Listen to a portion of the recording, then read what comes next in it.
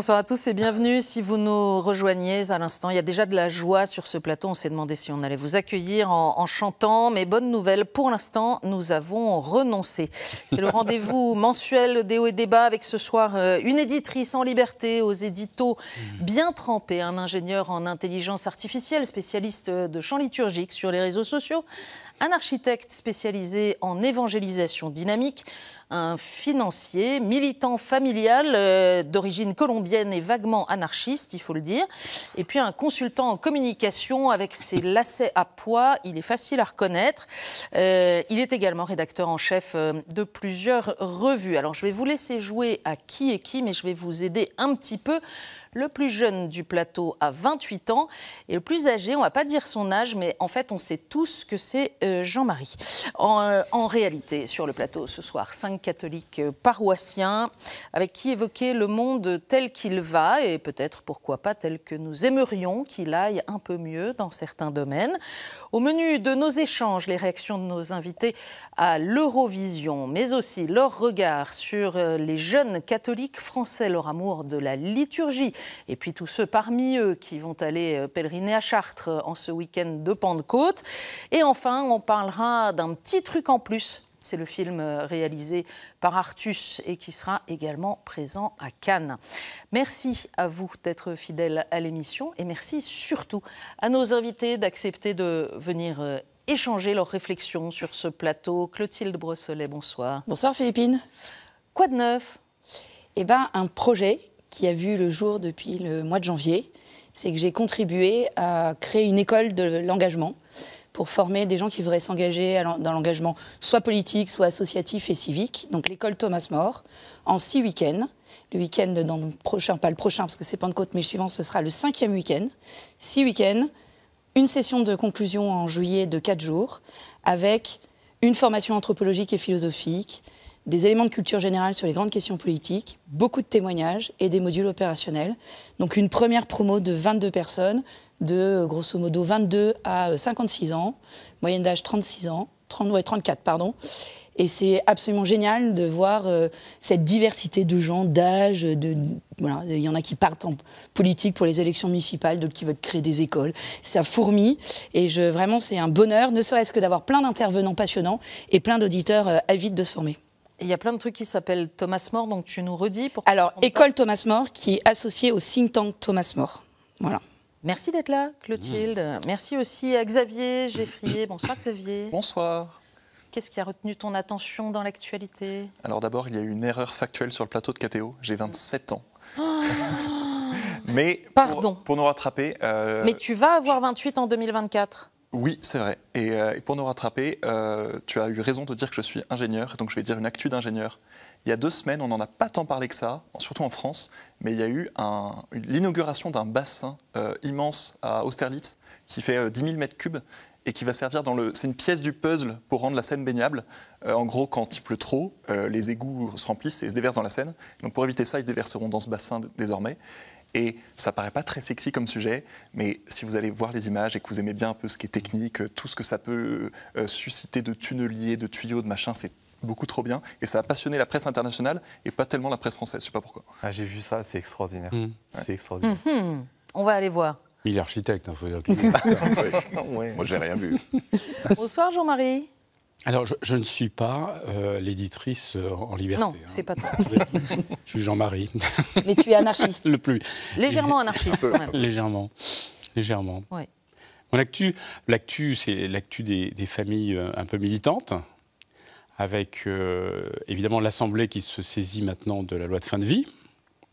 Donc là, il y a eu travail à faire auprès des élus. Et puis, l'autre actu, c'est le congé parental que le gouvernement cherche à modifier, soi-disant pour traiter le problème de la baisse de la fécondité qui est fortement liée à la problématique de garde. Et du coup, en fait, qu'est-ce qu'on fait? On fait un congé plus court et plus rémunéré. On ne sait pas trop si ça apporte la, réponse à la question, mais comme disait Marchais jadis, c'est pas la question, mais c'est la réponse. Hmm.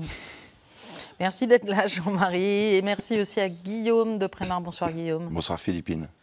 Alors, euh, tu as des lacets fleuris ou à pois, ça dépend des jours. Je ne les ai pas choisis, ils étaient fournis avec, euh, avec le modèle de base.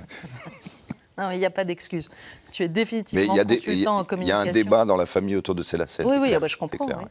Ah oui. Euh, et donc, les revues Permanence et Capital Social Eh bien oui, encore et toujours, la revue permanence numéro du deuxième trimestre sur le modèle, le modèle social français, Big Mother ou l'État nounou, avec notamment des entretiens avec Maxime Tandonnet et Pierre de Lauzin, le président de l'Association des économistes catholiques, et Capital Social, eh bien, il part chez l'imprimeur demain, le numéro de juin, sur le thème de l'Europe et de l'Union européenne, et avec un grand entretien avec euh, Henri d'Anselme, euh, le fameux héros au sac à dos, le héros d'Annecy, un entretien passionnant où il nous explique que sa génération est condamnée à l'héroïsme. Waouh, on va lire ça. Ah, il faut dire. Il y a Voilà. sept pages d'interview hein, quand même. Et donc, vous vous êtes tous dénoncés mutuellement. Donc, l'architecte, euh, c'est le, der- c'est le dernier. Bonsoir, Raphaël. Ah, Bonsoir Philippine, merci de nous accueillir. On est, euh, moi, je- mon actu, c'est que je suis architecte, effectivement. Alors, je viens souvent sur ces plateaux pour parler d'évangélisation. Et ma joie, c'est quand mon métier rejoint ma foi. Et, euh, et ça arrive quand même régulièrement avec l'agence d'avoir quelques projets avec l'Église. Bon, mais pas si régulièrement que ça. Et là, on construit, euh, on dépose un permis de construire. Mon actu, c'est un permis de construire pour une école euh, catholique et un couvent qui se situe à Saint-Cloud. Euh, pour les, les- les sœurs, c'est l'institution, Saint-Pédis à Saint-Cloud. On va rénover le, le couvent et euh, agrandir l'école primaire. C'est un projet merveilleux parce que c'est pour les enfants, c'est tout un, un projet scolaire qui est intéressant. Et puis c'est très religieuse. C'est un, un bonheur parce qu'on est, on est à la fois, euh, on travaille le projet. Quand on travaille un projet d'archi pour quelqu'un, on rentre dans la vie des personnes, mais on rentre dans l'intention, on rentre dans, la, dans ce que portent les gens quand même. Dans leur, c'est leur maison, c'est leur habitat, c'est leur, euh, un projet de vie quoi. Et donc euh, faire de l'architecture, c'est pas juste dessiner des, des- murs. Et, et donc là, bah, quand c'est pour des religieux et pour un établissement scolaire, c'est passionnant. Merci d'être là. Euh, je l'ai dit à chacun, je crois. Passons donc au, au sujet. Euh, C'était pas un concours de talent musical, mais un concours de laideur, de vulgarité, de grossièreté, d'exhibitionnisme, au passage sanctionné par la loi, mais diffusé à des millions d'enfants et d'adolescents. Euh, C'est pas un cateau coincé qui a dit ça. hein. C'est Ségolène Royal en parlant de, de l'Eurovision. Euh, alors il y a eu plein de choses autour de l'Eurovision. Il y a eu cet aspect-là. Visuellement, c'est déroutant. Il y a évidemment l'aspect politique, euh, avec euh, la présence de la chanteuse israélienne euh, qui a subi des pressions terribles, avec la persistance de messages politiques pro-palestiniens.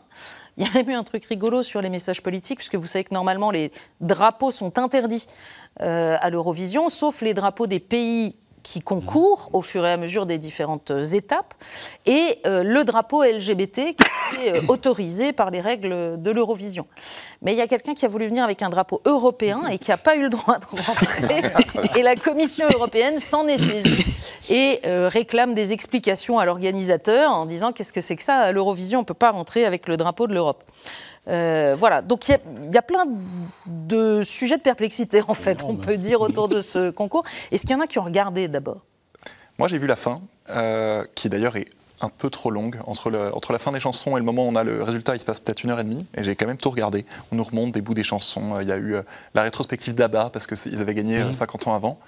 Et je dois être moins un cateau coincé que Ségolène Royal, parce que moi, j'ai trouvé ça pas mal. Il faut, être, euh, un peu ouvrir ses chakras. Voilà, faut, faut aimer euh, les couleurs vives et, euh, et les tenues étranges.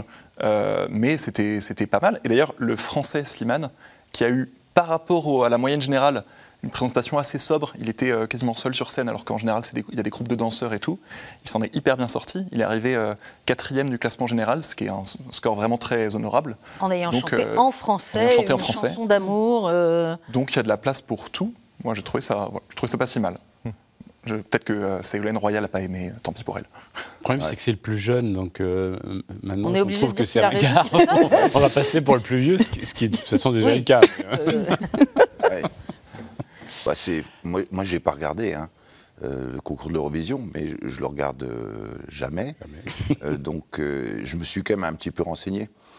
Et j'ai vu effectivement que Ségolène Royal avait prononcé cette, cette phrase. Alors j'ai regardé ce matin quelques, quelques images et je me rapproche assez du point de vue de Ségolène Royal sur ce- certains aspects, même si je ne l'aurais pas dit de cette manière-là, parce que je suis quelqu'un d'assez modéré dans l'expression.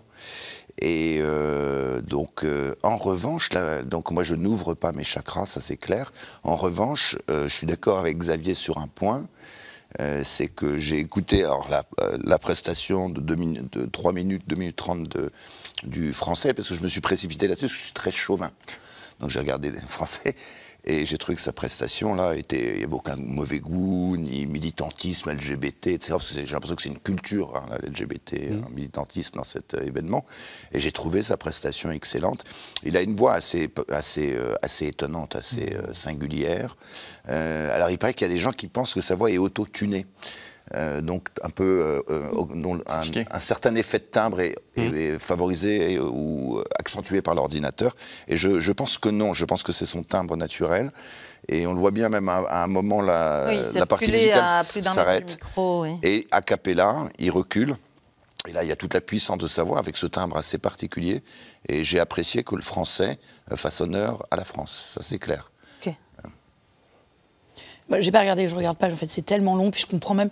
J'avais essayé de regarder une fois, je comprends pas les votes. euh, Le public peut voter, mais il y a le jury qui, qui contrebalance. Enfin, vraiment, moi, j'ai vu les polémiques autour et je me, j'ai un peu honte en fait de tout ça. J'ai un peu honte parce que c'est censé être euh, le concours euh, de chant de l'Europe, voilà le côté un peu sympa. et, en fait, il y a eu plein de polémiques politiques. Un des trucs les plus ridicules, c'est la conférence de presse pendant que la, la représentante israélienne parle. Il y a deux autres concurrents. euh, Il y en a une qui fait semblant de dormir. Il y en a un autre qui se couvre la tête avec euh, un drapeau, mais on ne sait pas trop ce que c'est. Et alors là, la dernière polémique en date, c'est que la, la Grèce a râlé parce que la retransmission sur YouTube de sa prestation avait été mise en retard. Pourquoi? Parce qu'en fait, la fille avait dessiné sur ses ongles des euh, kéfiers palestiniens. Enfin, je trouve qu'on est arrivé à un niveau d'ânerie. Donc j'ai un peu honte et je me dis si c'est ça qui est censé représenter un peu la culture populaire française, euh, européenne, pardon, mais c'est en fait c'est minable. Et c'est vrai, euh, je, comprends ce que dit Ségolène Royal. Dans le peu d'images que j'ai trouvées, moi ma fille est rentrée de l'école, Euh, on a bien fait de pas regarder l'Eurovision parce qu'il paraît qu'il y avait un monsieur tout nu. Alors je suis allée regarder en détail, non en fait euh, c'était un peu plus compliqué, j'ai essayé d'expliquer ce que c'était qu'un slip couleur chair et euh, voilà, un, un cache-sexe. Elle m'a rien dit, mais enfin euh, c'était pour faire croire que quoi. Et elle en fait elle avait raison. Je trouve que c'est quand même la... la- Je pense qu'il n'y a pas que ça, mais finalement ce qu'il en sort, c'est cette espèce de catalogue ultra provoquant où euh, l'idéologie LGBT est plein pot. Euh, et puis si vous aimez pas, bah, c'est parce que vous êtes intolérant. J'ai un peu honte et je me dis voilà, si c'est ça qu'on propose comme pro- pas comme projet, mais comme culture populaire européenne, il faudrait mieux de se calmer quand même. hein. Ça ne doit pas donner envie à beaucoup. Ouais, je- Ouais, l'image que donne l'Europe aux autres ouais, civilisations, c'est ça franchement. Ah oui. Moi, Je ne sais pas s'il n'y a que l'Europe, mais. euh, non, ce, qui, est vrai, c'est que. Il y, a- une tendance que je trouve un peu étonnante euh, et, pas très légitime, c'est celle de. que sous prétexte qu'on est un artiste, indépendamment du talent qu'on a ou qu'on n'a pas, ça c'est de toute façon dans tous les métiers, on a ou pas du talent, et il y a des très mauvais partout. euh, il y, a- il y a ce côté euh, où on se sent toujours investi en fait d'une espèce de mission euh, euh, de sauver l'humanité. Et ça, ça, je trouve ça très illégitime parce que moi, moi, je suis financier, hein, donc euh, pour ceux qui essayent de retrouver ce que tu as dit tout à l'heure, ils, vont finir quand même par me cerner. Euh, un grand financier, c'est pas nécessairement euh, un grand politique. Il n'y a aucune fatalité. Donc, euh, moi, j'aime bien que les grands financiers ou que les grands économistes euh, ne s'expriment pas dans les sujets politiques et qui s'expriment en revanche sur la finance. Eh ben, j'aimerais bien que les artistes se contentent de, commenter les problématiques de leur métier, qui est déjà suffisamment difficile, ou qui donnent leur avis sur quelque chose, mais, mais, mais, mais pas avec cette espèce de. de comme si c'était en fait. euh, saisi par une espèce de grâce particulière qui serait l'exclusivité de l'artiste, que je trouve totalement illégitime. Exclusivité peut-être pas, mais heureusement que les artistes nous disent des choses politiques un petit peu, euh, depuis toujours. Et, c'est normal qu'une compétition internationale où euh, on vote pour des pays, ce soit politique. C'est le principe même. D'ailleurs, le règlement leur interdit de mettre des paroles politiques dans leurs chansons. Ensuite, euh, qu'est-ce qui est une parole politique? Mais ils peuvent pas dire mon pays c'est le meilleur et allez tous vous faire voir. Ça peut pas être à ce point-là, quoi. Mais, si tu veux, je, je- je comprends, mais moi, moi, je fais la distinction. Évidemment que tout le monde. Le, le fait politique n'est pas un fait de, de, de spécialiste. Donc, de toute façon, tout le monde vote, les artistes votent comme les autres. En revanche, ce côté, euh, ce que je dis est forcément important parce que je suis artiste, c'est ça que je trouve très choquant.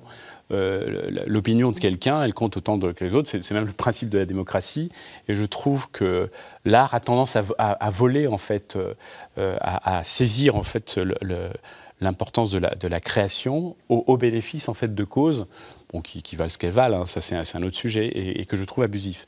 En revanche, là où je suis d'accord avec toi, c'est on ne peut pas imaginer en fait que parce qu'on est en train de chanter quelque chose, on perd sa nationalité, on perd sa relation au problème du monde.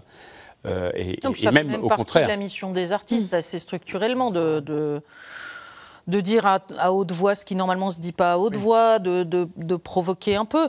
Là, la question qui a été posée par beaucoup d'observateurs, c'est oui. à, à, quel niveau de provocation on rentre dans la haine de soi de toute une civilisation européenne, en fait, qui, euh... Comme ces reflets, c'est intéressant, mais c'est vrai l'événement. Mais l'événement, quand tu poses la question sur le mm. plateau, il n'y en a qu'un qui a regardé 10 minutes. Euh, une heure et non, demie. une heure et demie, non, pardon. Mais c'est un succès populaire énorme. Hein. Et, et ça fait 16, mi ça oui, 16 millions de, de, de téléspectateurs en Europe. C'est quand même important, hein, c'est mmh. pas anodin. Voilà. Mais dans l'image que ça peut véhiculer. Deal, ça, hein. ça véhicule une image qui euh, dure le temps de l'émission, euh, et puis deux heures après, euh, il y a un peu d'Instagram pendant quelques jours sur les polémiques, et uniquement sur les polémiques. Mmh, avec toi. Et puis qu'est-ce qui reste au bout d'une bah oui, semaine Comme la plupart des... C'est un feu de paille, comme beaucoup d'événementiels. De, de, de, moi, j'ai pas regardé les débats, j'ai écouté, par contre, toute la, la, la, je me suis écouté la playlist, quoi. Je me suis dit, bah, ouais, l'émission de ce soir, faut que je me renseigne un peu. J'ai pas regardé la presse, j'ai pas regardé les polémiques, juste écouté la playlist comme un. Et en fait, euh, je, je j'ai trouvé Slimane super, il a une voix incroyable. Finalement, ouais, je connaissais pas, euh, tu vois, je, on l'avait sûrement entendu. J'ai trouvé euh, l'italienne bien aussi, euh, une sorte de.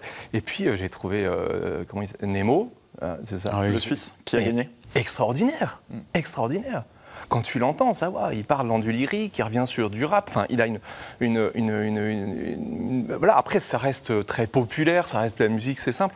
Il y a d'autres... Euh, il y en a un autre, bah, l'israélienne, elle est un peu plus pop, c'est un peu euh, Beyoncé, je sais pas quoi. Enfin, je sais pas, t'es dans un autre registre. Moi, je suis pas, je suis pas. Mais moi, je suis plutôt bon public. Je suis pas un grand mélomane, je suis pas un grand liturge.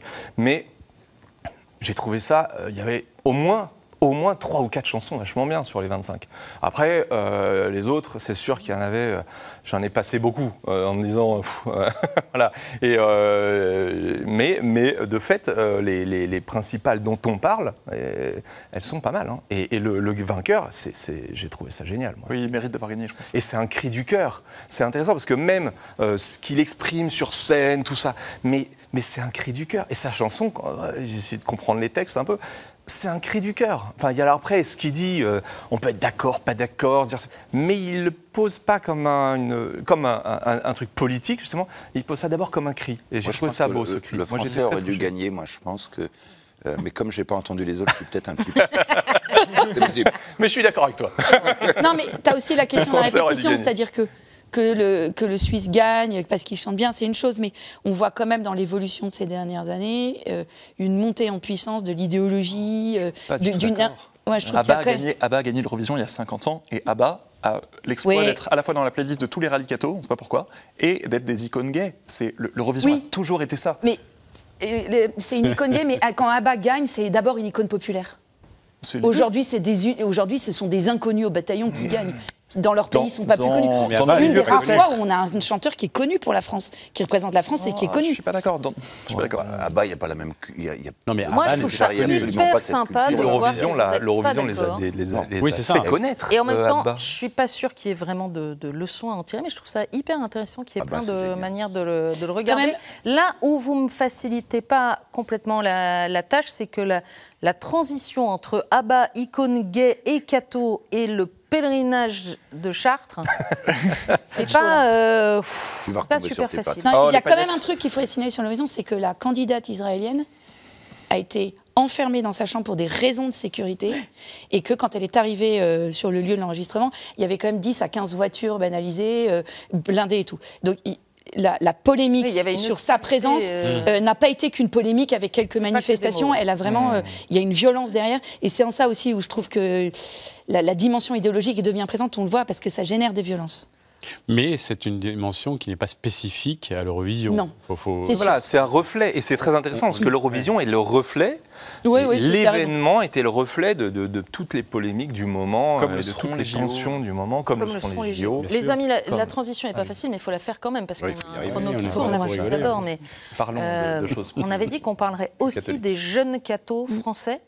Vous vous souvenez peut-être, il, y a- il y a un an, à peu près, dans La Croix, il y avait eu cette enquête sur les jeunes qui allaient partir au JMJ et, qui révélait que 24% des jeunes qui allaient partir au JMJ déclaraient aller à la messe plusieurs fois par semaine.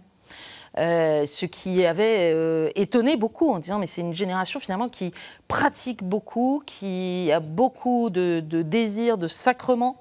Euh, et puis on voit aussi un désir de, de liturgie plus traditionnelle, en tout cas carrée, bien célébrée, belle. Alors on va retomber dans le- la subjectivité du beau. Euh, J'aimerais savoir comment vous regardez ces, ces jeunes cathos ou, ou comment vous vous auto-exprimez quand vous êtes euh, jeune catho, monsieur? Euh, moi, j'adore la liturgie. Je suis fan de liturgie. J'ai servi la messe des années. J'adore. euh, On n'adore que Dieu, c'est- normalement. c'est Et vrai. le chocolat. C'est vrai. Et sa liturgie. Faut Et jamais- le Nutella. faut jamais Mais- confondre la liturgie avec Dieu, et c'est une erreur Quelle- que beaucoup quelle font. liturgie parce que, euh, Ah mais oui, quelle liturgie? Quelle liturgie? Bah, la, la sainte liturgie euh, romaine. Euh, Oh, la provocation Euh, c'est-à-dire le, le forme ordinaire, euh, voilà, la, lex orandi. Euh, mais le, c'est vrai que c'est, c'est pas très bien de ma part, mais j'avoue que quand je suis dans des paroisses un peu plus justement rattachées aux petites choses, un peu plus classiques, je vais par mauvais esprit lister dans ma tête, par esprit de contradiction, tout ce que justement ils font pas bien, pile comme dans le livre. Alors que quand on est euh, dans des messes de campagne où c'est pas toujours euh, extrêmement réglo et tout, je vais être beaucoup plus ouvert d'esprit et ça va beaucoup mieux m'aller. Mais, euh, mais je pense que c'est assez fréquent dans ma génération, effectivement, de bien aimer la liturgie. Euh, je sais pas si je relierais ça directement au phénomène tradi, qui, à mon avis, est un peu plus compliqué que ça, parce que la liturgie pas tradie a elle-même euh, énormément changé ces dernières années. Elle est devenue beaucoup plus, justement, euh, ca- carrée, comme vous disiez. Euh, elle ressemble beaucoup plus à ce, à ce que le missel demande. Alors, il y a aussi des petites innovations. Il y a les fameux servantes d'assemblée, dont on ne sait pas trop euh, euh, comment elles, elles se sont retrouvées là, euh, par exemple. Mais il y, a, euh, il y a quand même une plus grande fidélité au, à Oui, la mais il y a- y, en même temps la, la très grande capacité euh, des jeunes cathos aujourd'hui à passer d'un truc à l'autre précisément sans tenir compte des murailles érigées entre les chapelles. Et on peut tout à fait trouver les mêmes dans un groupe de louanges dans une paroisse euh, un, un- un soir qu'on va voir marcher en ce week-end de Pentecôte euh, en direction de Chartres euh, sans avoir l'impression euh, d'avoir justement franchi Oui, parce muraille. que en fait, je pense que c'est moins l'expression d'une tradition que je, je- je trouve hein, que, que l'expression d'une euh, recherche d'authenticité, c'est-à-dire euh, bah, parce que Un vrai dans truc le fond, nourrissant. on ne fait pas nécessairement les choses par fidélité. euh, mais mais c'est vrai que l'ordinaire de la messe, il a, il a un sens. Et, et- et les jeunes s'intéressent beaucoup au sens. euh, et c'est pour ça qu'ils s'y arrêtent, en fait. hein. Alors que c'est vrai que enfin, dans ma génération, ou plutôt celle de, mes parents, donc juste post-conciliaire, le, le- sujet, il n'était pas du tout celui-là.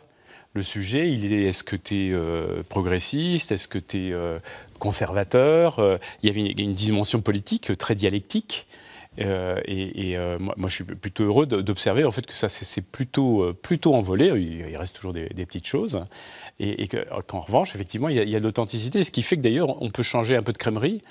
Parce qu'en fait, euh, il y, a- il y a beaucoup de crèmeries où, où, euh, où le- le- on ne chante pas exactement la même chose, mais il y a, il y a cette authenticité. euh, il y a plein de paroisses maintenant où il y a, où il y a de, de l'adoration, euh, alors qu'il y a encore 20 ans, il y a plein de paroisses en, en, en Ile-de-France où l'adoration était quand même assez mal vue. euh, donc, donc tout ça, ça procède d'une espèce de convergence. Tu sais, donc, euh, Oui.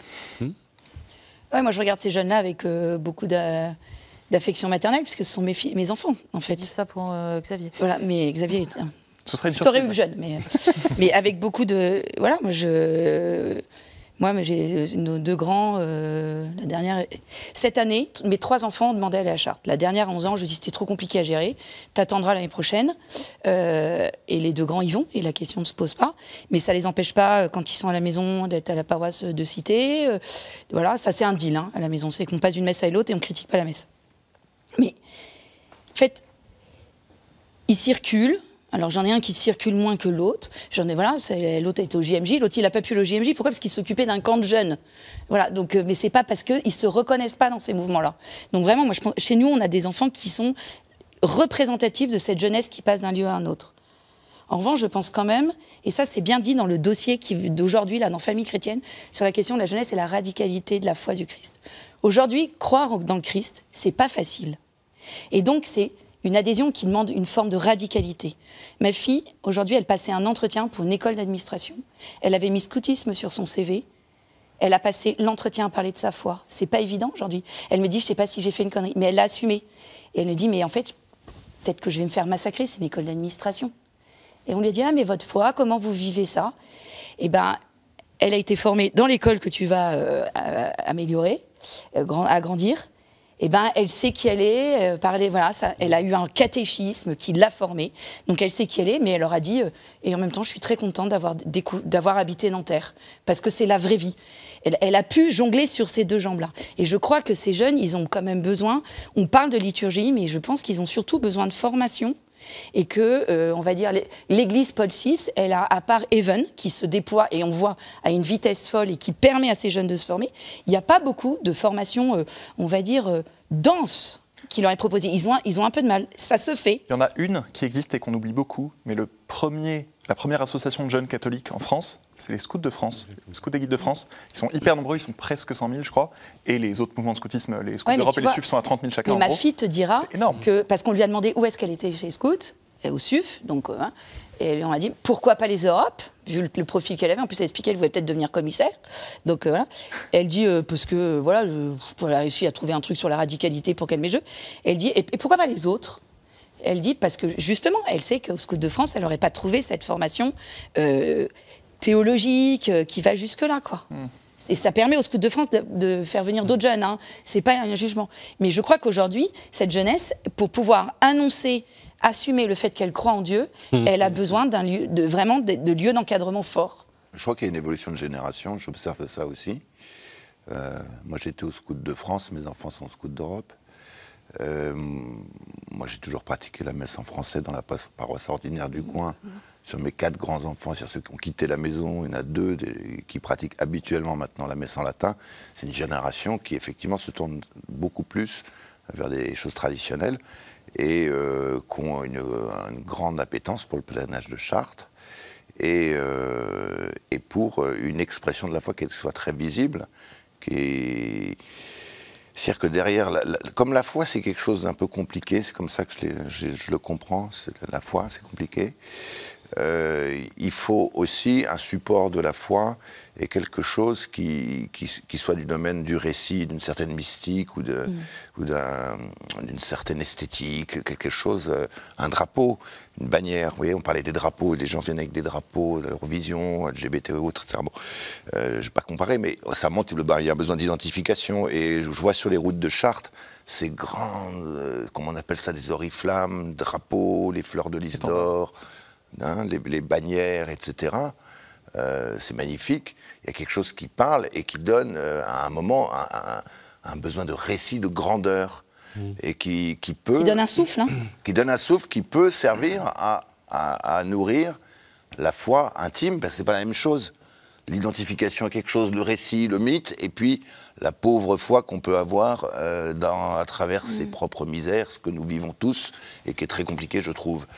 Euh, eh bien, tout ça, ça peut donner un support. Moi, euh, le pèlerinage de Chartres, quand je vois ces images, je me dis, il y, a de la grandeur qui s'exprime. J'aime bien ces fleurs de lys, ces sacrés-cœurs qui sont sur les bannières, etc. Je comprends que mes enfants y, y aillent à fond. Alors, Maintenant, ils vont, ils vont davantage à la messe en latin, c'est un fait. Enfin, quand ils viennent à la maison, on va à la messe de notre paroisse. Il n'y a pas d'exclusivité. Puis c'est enfin, il y en a qu'on fait le frat, et puis etc. aussi. Hein. et où il y a des sociologies assez différentes, parce qu'il y a aussi une, jeunesse mm. catholique qui est différente de celle-là sur le plan euh, sociologique et culturel. Voilà ce que, ce que j'observe. Et, un, mot, un mot sur le frat. Euh, le frat, ça commence demain, le frat de Janville. Mm. On va en parler 100 fois moins que du pèlerinage de Chartres. C'est dommage. Parce que c'est 100 fois moins politique. Enfin, le pèlerinage de Chartres s'assume, Notre-Dame de Chrétienté s'assume sur leur site comme pèlerinage militant, ce qui n'est pas du tout l'objectif du frat. Mais c'est aussi un énorme, un énorme bousin. C'est 10 000 jeunes. c'est incroyable, 10 000 jeunes, alors que c'est que euh, en Ile-de-France, euh, des collégiens de 4e, 3e, donc c'est une mini-tranche, ils sont quand même 10 000, c'est énorme.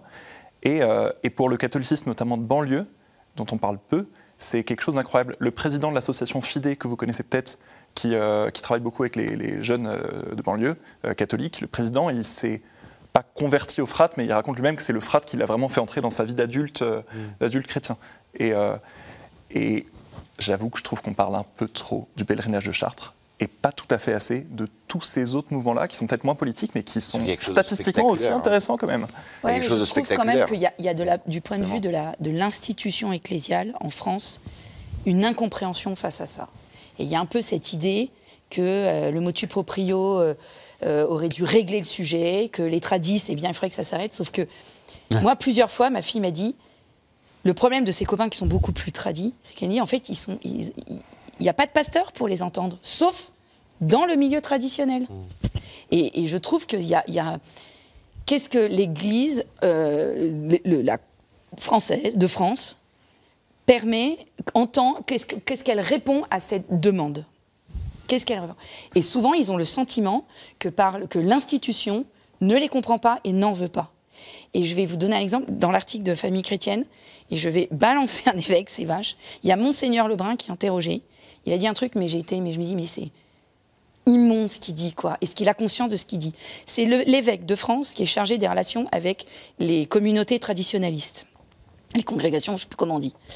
Il explique que dans son diocèse, donc il y a des jeunes qui vont au pèlerinage étudiant à Mont-Saint-Michel, au pèlerinage de Chartres, et puis il cite euh, les soirées de louanges. Grosso modo, la jeunesse d'aujourd'hui, euh, classique, voilà.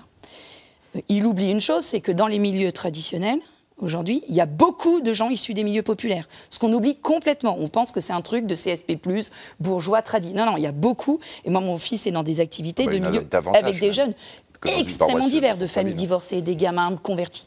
Et il dit, quand je vois ces jeunes-là, je me demande, mais est-ce qu'ils sont... J'ai le sentiment qu'ils... C'est même plus violent ce qu'il dit, qu'ils sont en rupture avec moi.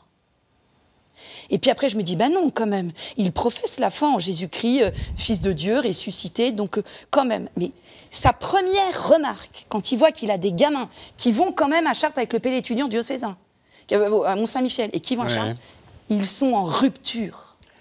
Mais ça, je pense Eh que ben, je me dis, c'est quand même l'évêque de France qui est en charge avec les institutions, les, les, euh, traditionnalistes. Mais, voilà, mais mes Non, mais ce qui enfants- est super intéressant dans ce que tu en- racontes- Les enfants voient ça, ils disent, bah, ma pauvre Et- maman, oui, on veut bien, on est fidèle à l'Église. La enfin rupture, bon, la, l'Église, elle euh, pas. la rupture, elle est générationnelle, c'est certain. Oui, exactement. Euh, et, euh, et ce qui est intéressant, moi je trouve super, super, c'est très beau là dans ce qu'on voit apparaître, c'est qu'on retrouve ce sens qu'il peut y avoir plusieurs euh, façons de prier dans l'Église, plusieurs formes de liturgie d'ailleurs, plusieurs formes. Enfin, c'est quand même, c'est ça l'Église à la base. Enfin, et d'ailleurs, euh, l'Église universelle, et qui est, euh, que- à laquelle on adhère, hein, c'est quand même à laquelle on croit. Elle, elle, enfin, elle, est dans l'unité. Enfin, elle cherche l'unité avec les Églises orthodoxes, avec euh, les Églises. Les églises d'Orient qui, qui, qui, qui, cé- qui célèbrent dans des rites différents, c'est même plus que des liturgies, et, et, euh, ils ont des façons de prier qui sont différentes. Et on retrouve ça euh, dans des églises locales euh, en France. Et ce qui est terrible, c'est quand on se regarde en chien de faïence en disant c'est pourri ta façon parce que ma façon est la façon, tu vois. Et ça, c'est terrible. Et il y a des talibans des deux côtés, hein. Exactement. Bah, il y a des talibans partout. Et c'est, on, on- on passe notre temps à croire que la façon dont on pense est la bonne façon de penser, la façon dont on prie est la bonne façon de prier, la façon dont on- parce qu'elle nous est euh, familière, agréable, elle nous semble juste, elle nous semble bien. Et donc c'est la bonne façon. Et donc ça doit s'appliquer à toi. Et d'ailleurs, je, je trouve que bon, euh, mais- c'est- c'est terrible parce que et en fait on retrouve les jeunes retrouvent cette liberté là mais ils ont toujours eu cette liberté là je pense euh, peut-être jusqu'à un certain âge et aussi euh, ça dépend beaucoup des pasteurs. Et je pense que d'un côté comme de l'autre euh, la façon dont les pasteurs qu'ils soient tradis qu'ils soient euh, en, en chemise à fleurs on n'en voit plus beaucoup mais il y en a encore et en fait c'est et, oui, et, et que qu'ils soient euh, des, des tout jeunes prêtres en soutane ou, ou tout jeunes prêtres pas en soutane en fait il y a une façon de, de servir une communauté dans ce qu'elle en- la façon qui est la bonne pour elle pour prier, je sais pas comment formuler, mais euh, et, et une, une communauté qui se tourne vers le Seigneur et qui prie. euh, L'important, c'est que nous, comme chrétiens, on puisse trouver un lieu dans lequel Mm. on puisse se tourner vers le Seigneur d'une façon qui nous euh, qui nous fasse grandir dans notre Mais lien quand à tu Dieu. dis C'est ça, tu as déjà un Ça, changement c'est la extraordinaire parce que oui. tu, tu comprends l'affrontement initial qui a existé il était justement euh, la négation de ce que tu dis là, euh, c'est-à-dire il y, avait ceux qui disaient qu'on ne peut prier que comme ça et ceux qui disaient qu'on ne pouvait pas prier autrement que. Euh, et, le fait qu'aujourd'hui, en fait, on conçoive à ce point que, le cœur du sujet de la liturgie, c'est la relation à Dieu, que de temps en temps, on se rend compte qu'il y a des, goûts, des couleurs, et, que chacun doit trouver sa manière d'être plus proche de Dieu.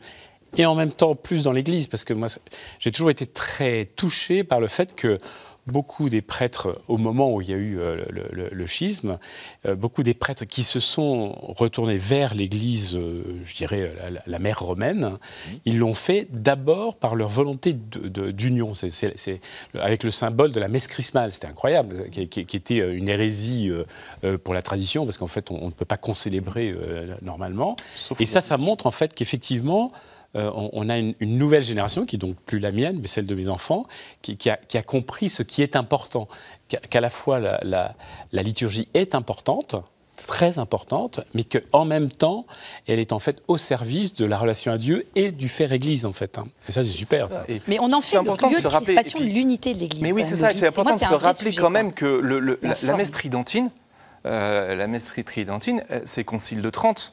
C'est 16e siècle hein, quand même. hein.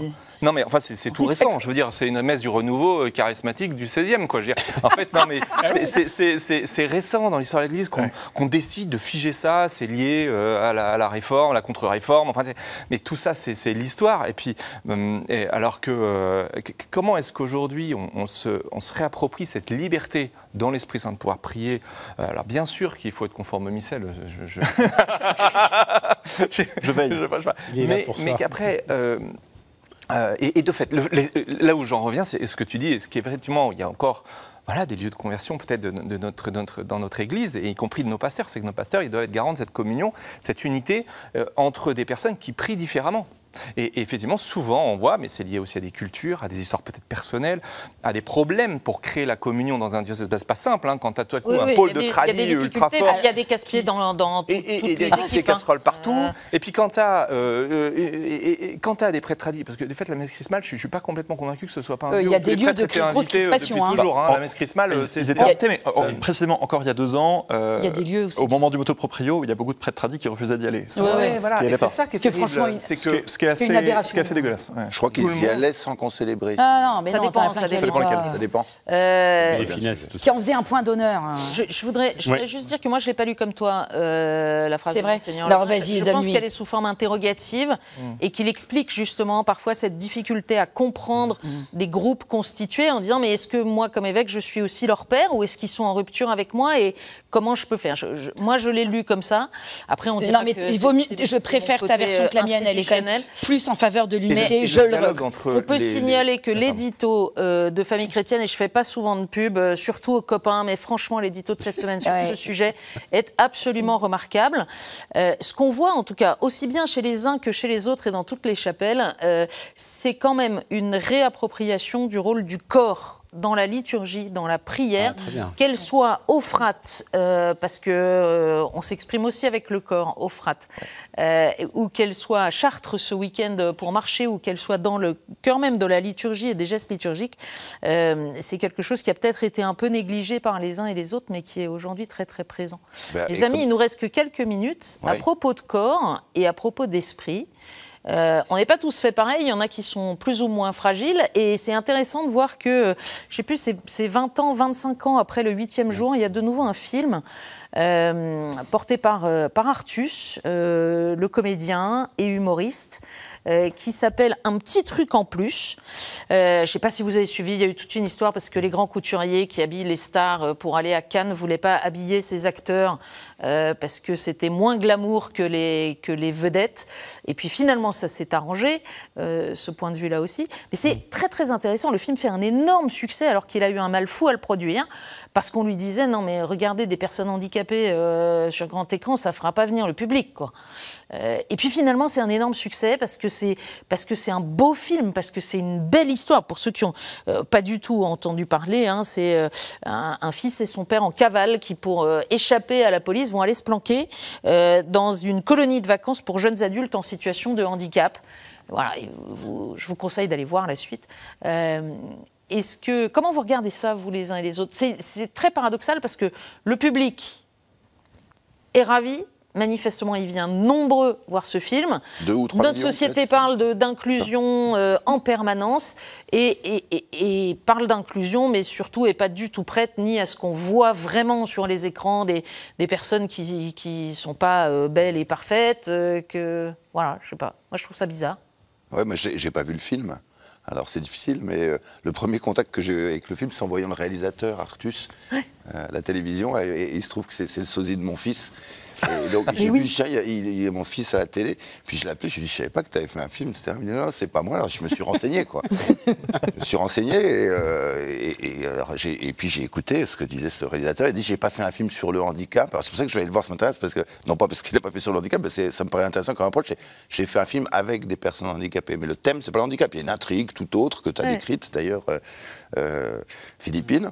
J'ai vu que ça fait plus de 2 millions, c'est ça d'entrée, Ouais, c'est ça. hein, ce, qui est, ce qui est bien, je crois. hein. Mieux que euh, Dune, Et- la planète des, des Et je pense que la société, quand même, a une très très bonne euh, accueil de, de- des personnes handicapées, en, en général, quel que soit le type de handicap, euh, à partir du moment où elles sont nées. Avant, c'est plus compliqué. Mais c'est ça qui est, paradoxal. Mais je pense qu'il y a une générosité, une volonté d'accueil euh, très forte dans la société avec les personnes handicapées. Même s'il y a plein de choses insuffisantes euh, pour certains types de handicap. Si on pense des centres d'accueil pour les autistes, c'est assez compliqué. On est en retard par rapport à d'autres pays, etc. Mais globalement, la culture globale des gens est une culture d'accueil du handicap, je trouve. Mais une fois qu'ils sont nés. Moi, je vais être un peu rabat-joie. Ouais, Euh, je suis pas. moins d'accord avec ça. On a régulièrement des films, il y a eu euh, Hors Norme, il y a peut-être 3-4 ans, euh, qui parlaient de l'autisme. Il y a eu Intouchable, évidemment, euh, sur le handicap aussi. Des films qui, nous, qui sont très beaux, euh, qui nous mettent la larme à l'œil, machin.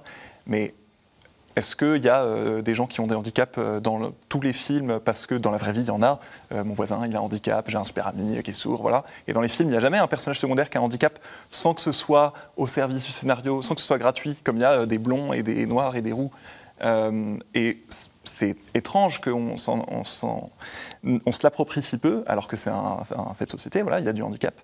Et, sur ce qui se passe en ce moment, sur la fin de vie, où on dit, ouais, peut-être que ces personnes ne sont- n'ont pas la dignité de vivre et il faudrait leur offrir de mourir dans la dignité, euh, tout en euh, ayant une larme à l'œil devant des, des- des beaux moments de cinéma. Ce qui ne veut pas dire que c'est un mauvais film, c'est un super film, mais je pense, et là c'est plus pessimiste sur le vrai fait de société, d'une société inclusive vis-à-vis du handicap.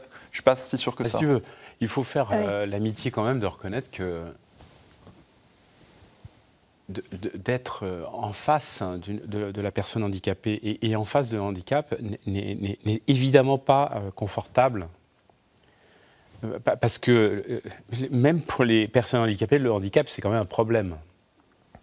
Donc, en tout cas, il faut se méfier de la tendance un peu naïve hein, ou, ou bêtifiante, qui consiste à dire non mais on, on est tous pareils, tout est équivalent, etc. Et, et moi, euh, alors c'est pas du tout mon métier de faire des films, ça, Dieu merci euh, bah, pour, pour les, les- les cinéphiles, mais je, je pense que c'est très compliqué de faire des scénarios où des personnes porteuses de handicap tiendraient un rôle comme euh, n'importe qui. Je, je pense que ça, ça Oui, demande beaucoup plus de génie euh, que tout le génie qui est nécessaire déjà pour faire un bon film. Donc donc c'est pour ça que je, je tiens à les excuser un peu parce que je me mets à leur place. Euh, ceci étant dit, et, peut-être pour, pour quand même euh, féliciter ces initiatives euh, trop peu nombreuses, je trouve que à chaque fois il y a un ressort étonnant qui est cette espèce d'obligation dans laquelle les personnes euh, qui portent un handicap nous mettent, qui est cette espèce de- de spontanéité ultra vraie.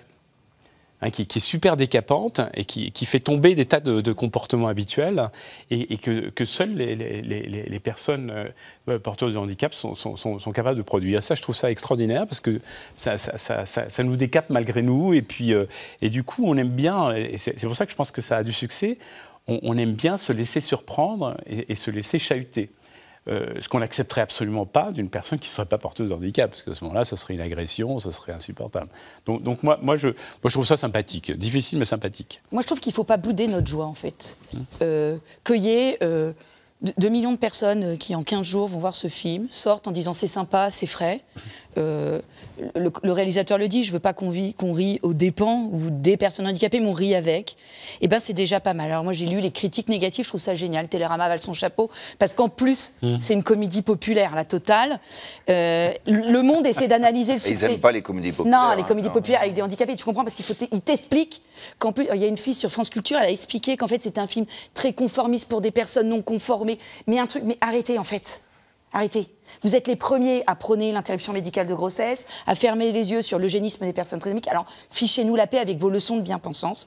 Le monde est extraordinaire. Le monde a essayé d'expliquer le succès de ce film en disant que c'était la preuve qu'il y avait encore un désir des des, des gens de se retrouver pour vivre une émotion collective dans une salle noire. En fait, ça veut dire que dans ce cas-là, tout le monde va au cinéma pour voir tous les films. Non, non. En fait, je crois que. Et j'en- je- je- en fait, j'ai trouvé ça réjouissant de lire cette espèce d'intelligentsia culturelle qui, d'es- qui est hyper gênée par ce succès. Non, je crois qu'en fait, c'est génial. Aujourd'hui, eh ben oui, les personnes. Il n'y a rien de pire en matière de, de- pour lutter que- contre les- contre l'oppression que d'invisibiliser les personnes. Je reprends la, la- la logorée. Et ben là, ils sont désinvisibilisés. Ben, je trouve ça génial. C'est très bien. Bien sûr, ça ne va pas résoudre les problèmes. Que demain, celui qui d'entre nous aura un enfant autiste, ça va être une galère pas possible parce que les structures sont pas là. Mais bon, il y a au moins plein de Français qui sont heureux d'aller rire et qui se disent, bah ouais, le handicap, ils sortiront pas de là en se disant peut-être, bah oui, si on a un enfant handicapé, on l'accueillera, mais en se disant, c'est peut-être pas si compliqué que ça. Et euh, c'est une première étape. Elle est toute petite, c'est une première marche. Mais moi, je trouve que ça fait un peu de bien. quoi. Et, et tu, tu l'as vu le film ou pas? Non, mais je vais y courir. Bah ouais, si, je vais courir, je vais aller le voir. J'ai vu des extraits et ça me donne envie. On y va en Eh ben, sortant. la, la majorité des critiques est, positive quand même. Oui, sauf euh, les- ouais, Mais voilà, le point fait Bon, une critique Télérama, absolument. ouais, tu Raphaël. Mais Télérama, Raphaël. c'est délicieux. Raphaël, il vient pas souvent, hein, du coup, il est en, il est en Ah oui. timidité là. Moi, je suis très timide. Menteur. Moi, j'ai- regardez-le pas- comme il non, se mais- laisse opprimer. Je- non, mais je vous écoute, c'est passionnant. Vous avez vu le film, on a l'impression. Enfin, voilà. Moi, j'ai pas vu le On l'a film pas non vu. plus. Non, on parle d'un phénomène de le- société. Le phénomène, bah, et, et- et évidemment, il est enthousiasmant. Je partage Bah la oui. joie. euh, euh, faut se réjouir quand on parle des fragilités, quand les fragilités sont mises à l'écran et, sont, et quand on, on- on- quelqu'un prend soin d'essayer de révéler la beauté de cette fragilité, c'est merveilleux. Mm. Et Artus, moi je trouve que c'est un missionnaire extraordinaire, un missionnaire de la fragilité. Je suis, je suis fasciné, je l'ai vu en plusieurs interviews là, euh, sur des plateaux, et il vient toujours avec euh, des comédiens euh, handicapés, mais on sent qu'il est familier, on sent que c'est pas quelqu'un qui a euh, qui a fait un coup ou qui a voulu euh, euh, se servir de. Il est pas, il est, il- c'est un, c'est un frère, c'est un copain avec des copains et et, et, je sais plus si vous avez vu ce petit extrait qui est passé aussi où il il fait répéter une scène à une fille. C'est Ah, mais- extraordinaire. et puis, et il essaie de lui faire poser une question. Et à chaque fois, il lui fait répète la question après moi. Il lui pose la question et elle répond. Et, et il pas à lui faire répéter. Et il c'est s'énerve même pas. Il s'énerve pas. Et puis, et puis, et puis il prend le temps. Puis, puis il se marre. Et puis, puis il essaye. Mais il essaye, il est patient. Et, et- et je trouve que ce témoignage, et quand il amène ces comédiens sur les plateaux, euh, il amène l'évangile sur les plateaux. Et que, de fait, tu, tu dis, de se retrouver en face de quelqu'un en situation de handicap, euh, c'est souvent, euh, ça, ça nous désarçonne. C'est quelqu'un même en situation de grande précarité, ou quelqu'un. Les personnes en situation de fragilité nous, nous, nous, nous renvoient euh, à tout notre paraître, à tout nos- nos- notre superficiel et nous ramènent à, à notre, à vraiment à, ce qui, à qui on est vraiment en fait. Et, et c'est ça qui est merveilleux avec eux. Et, et je trouve qu'au cinéma, on peut y goûter. On, on- on y goûte un peu. Et là où je trouve euh, Artus profondément missionnaire et vraiment avec une, une volonté de, de transmettre cette expérience, c'est quand il l'emmène et avec, avec un respect de ses, ses- ses comédiens, en les emmenant dans ce qu'ils sont, tout en là. Enfin, on- ses copains, ses amis, en fait, il les amène dans cette aventure et il permet à des journalistes, il permet à plein de gens, du coup, de, de goûter à cette expérience, d'être en face de personnes en situation de fragilité et de goûter à cette, à cette joie communicative qu'ils portent en eux. Enfin, c'est merveilleux. Ce que je trouve génial chez ce gars, c'est qu'il n'a pas attendu d'avoir une grande carrière de réalisateur pour faire le film. C'est vrai. C'est son premier film. C'est son premier film. C'est super courageux. Ouais. Et Il a c'est un gros succès. Et ben, il le mérite. Qu'il s'est mis en danger. En vrai. Chers amis, il est déjà quasiment l'heure de se quitter. Ça me rend très triste parce que moi, j'aurais bien continué à vous écouter pendant, pendant très longtemps. Euh, vous savez qu'il y a toujours un petit défi à la fin de l'émission, une petite, euh, une petite proposition. Là, c'est le mois de mai. Je vous ai demandé à chacun euh, de, de venir pour voilà, nous dire quelle est une prière, une prière à Marie que vous aimez particulièrement et, pourquoi celle-là. Qui veut commencer? Tiens, Guillaume. Je pourrais répondre euh, la chanson La prière de Georges Brassens qui scande Je vous salue Marie, qui est magnifique. Euh, mais je ne vais pas répondre ça. Euh, je vais euh, dire que c'est le Mémorare, Souvenez-vous, très miséricordieuse Vierge Marie, parce que c'est la prière préférée de ma maman et que je dois tant de choses à ma maman et je dois euh, notamment à cette femme très pieuse, c'est une femme très pieuse, euh, le peu de foi qui me permet de vivre heureux dans la nuit du doute et dans le, le drame du silence de Dieu. C'est marrant que tu dis ça parce que c'est exactement la même prière que j'avais choisie. Ah, Mais pour des raisons très différentes. Oui. On n'a pas la même mère, c'est pour ça. Déjà. Et euh, en fait, c'est un prêtre qui m'avait enseigné ça. Et, et, euh, et c'est c'est rigolo, tu disais que l'importance du corps. Euh, il se trouve que c'est une prière qui m'a toujours touché. Je sais pas pourquoi est-ce que celle-là me touche, j'en sais rien. Parce que euh, j'écoute les. Quand je la dis, les paroles, et je les trouve euh, vraies, euh, très bien, mais c'est pas plus vrai que le Je vous salue Marie. euh, mais, mais ça, ça, ça me fait quelque chose. Comme, euh, donc voilà, donc euh, je souvenez-vous aux très miséricordieuse Vierge Marie, je trouve ça extraordinaire. Mm. Moi, c'est la même réponse. Je suis pas mariale, donc euh, je, dis, je la dis jamais.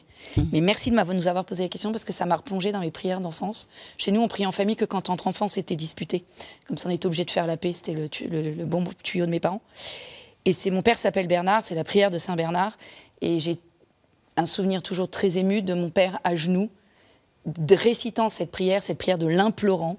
Mon père était ingénieur, euh, euh, voilà. Et le, le pater familias qui se met à genoux devant la Vierge, euh, c'est vraiment, euh, voilà, c'est une question, de trans- c'est une histoire de transmission aussi chez moi, mais du père pour moi. Et il s'engueulait tellement qu'il priait tout le temps. en fait. Non, c'est rien. C'est. Raphaël, Moi, je suis venu avec euh, une prière et je, je me disais, bon, je vais paraître complètement idiot. Et puis tu m'as décomplexé quand je suis arrivé. Je suis. euh, moi, quand tu me parles de prière Vierge Marie, alors réjouis-toi, c'est le Je vous salue Marie, c'est c'est la prière que je dis euh, régulièrement. J'ai- J'aime beaucoup le chapelet. Je, suis un fils de, moi de Lourdes, en fait. Et, euh, ma, grand-mère était 40 ans à Lourdes, deux fois par an. Elle nous a emmenés. Je suis un fils du frat au sud. Je suis un fils du frat au sens, j'ai vécu le frat à Lourdes plein de fois. Euh, et du coup, le Je vous salue Marie, quelque chose qui une prière qui m'habite et qui est dans son côté presque machinal. Et comme une prière qu'on marmonne, qu'on murmure et qui nous, et, et- et- et où- et qui nous accroche à la Vierge Marie, qui nous conduit à Jésus. Quoi. Il y a quelque chose de, chez moi, la Vierge Marie, à travers Amen. ce Je vous salue Marie. J'aurais pu dire Mémorare aussi, je l'ai dans mon portefeuille, mais euh, non, c'est un chant liturgique, parce que j'aime bien ça, euh, qui est apparu il y a quelques années, qu'on prend souvent la prière universelle, même si je pense qu'il n'est pas très adapté, mais qui est beau en soi. C'est Ô Marie, prends nos prières, purifie-les, complète-les, présente-les à ton Fils. Même si je n'aime pas trop la prière universelle, je pense qu'il est super pour tout ce qu'il dit de la Vierge qui intercède pour nous, quoi, qui on va pas prier Marie, on va lui la prier de nous emmener vers, euh, son Fils. Et je, je trouve euh, super ce chant. Et on ne s'était pas concerté avant. Moi, j'avais aussi le, souvenez-vous, de, de Saint-Bernard, surtout pour son côté réconfortant euh, de, de la promesse, hein, qu'aucun n'ait été abandonné. euh, c'est, quand même très, très réconfortant. Et puis, ça me fait un peu penser à, à Xavier pour le rendez-vous de ce soir, parce qu'il y a une version un peu détournée par Jean-Claude Gianada qui vaut le, qui vaut le détour. Euh, voilà, merci. Que vous nous chanterez juste après le- le- l'émission. Juste après le générique de fin, oui, quand il n'y aura plus de micro. Merci à les cinq. Merci à toute l'équipe euh, en régie, à tous ceux qui ont contribué à cette émission. Et puis surtout à vous de votre fidélité. À très bientôt.